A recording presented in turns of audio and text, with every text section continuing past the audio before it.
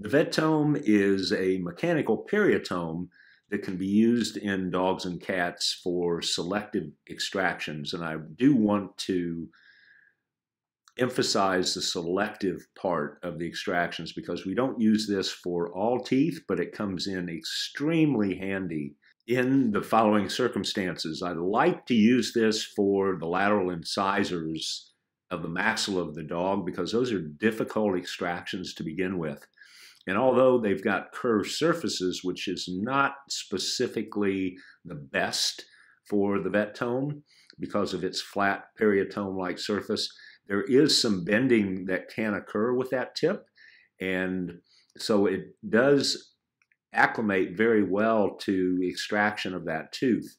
The other teeth that it's extremely helpful with are the other incisors, which are flat, mesial and distal in the dog, and also the lingual aspect of the mandibular canine.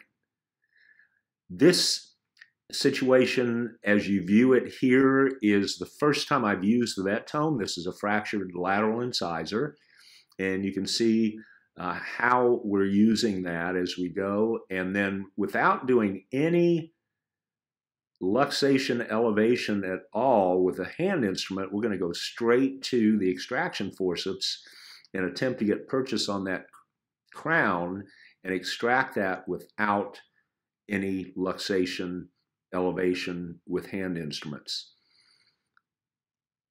We always want to consider using a flap for closure except for a circumstance like this where we leave the alveolus with a blood clot and allow that to reepithelialize.